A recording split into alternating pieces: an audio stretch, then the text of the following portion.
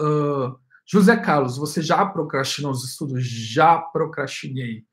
Sim, eu já empurrei com a barriga, então tive um... Mas o que eu noto é que a procrastinação é mais um estado emocional do, uma, do que uma questão real, de verdade. Geralmente, tentando entender o meu emocional, por que, que eu estou procrastinando, o que que... É difícil a gente fazer essas análises, uma autoanálise aí, né? Mas geralmente ela tem um fundo emocional, geralmente ela não é muito...